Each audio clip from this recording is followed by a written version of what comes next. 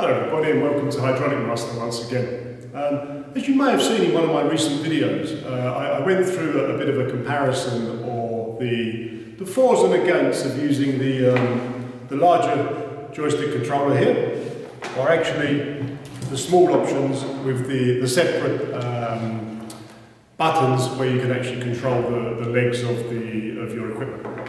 Of course, what is important to remember is maybe neither of those joysticks are suitable for you and you'd like to use a radio remote control. So this Scanreco unit uh, covers all exactly the same functions as either joystick and you don't actually have to choose one or the other because of course you can have the larger joystick, the small joystick and or the uh, remote control.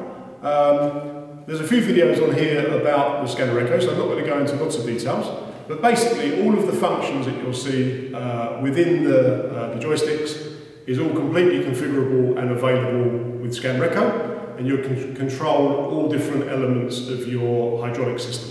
Um, as always, if you'd like any more information about either joystick, the Scanreco unit, or anything related to hydraulic systems, please give us a call or email us. Uh, our email is shop at hydraulic-master.com or check out our website hydraulic-master.com.